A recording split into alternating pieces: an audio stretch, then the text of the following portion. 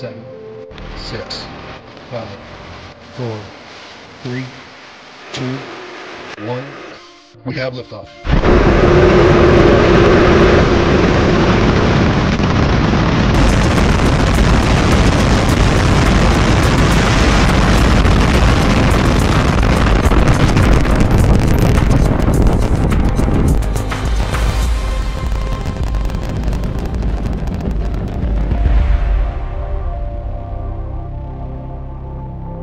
After waiting for a few months due to modifications to the chopstick systems and regulatory hurdles, SpaceX launched Flight 5 of Starship.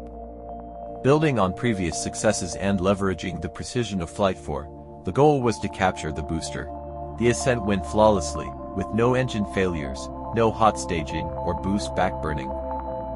SpaceX is trying some new things with Flight 6. With the changes to Ship 31, it will be interesting to see if it can survive re-entry.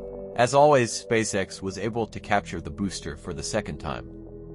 After a near-perfect fifth flight just a month ago, SpaceX is poised to set a Starship turnaround record by flying Flight 6 by 4 p.m. Canada time on Tuesday, November 19th. For Flight 6, SpaceX aims to refuel Ship 31 spaceflight and land during the day.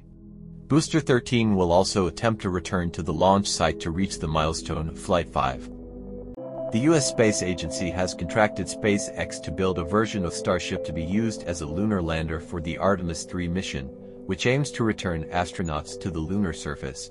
Artemis 3, the third flight of NASA's Artemis program, is currently scheduled to launch in late 2026, while its precursor mission Artemis 2 will send astronauts around the moon and return in November 2025. Both missions have been postponed by NASA to 2024 and 2025, respectively. Now, any delays in Starship's development could further delay NASA's Artemis program. Starship is the most powerful launch vehicle ever developed. It can transport up to 150 tons of reusable goods and 250 tons of consumer goods. NASA has selected Starship as the agency's first manned lunar landing system since the Apollo program, but SpaceX must first complete dozens, if not hundreds, of test flights before it can send humans on board. The flight profile for IFT-6 largely mirrors that of IFT-5, with Super Heavy returning to the launch site as the 165-foot-tall Starship upper stage continues onward into space. Building from its previous flight, SpaceX has added an additional goal to tomorrow's launch, not included on IFT-5, but one that's critical to Starship's operational qualification. NASA aims to return humans to the moon by 2026 as part of its Artemis program, but this goal has been postponed multiple times.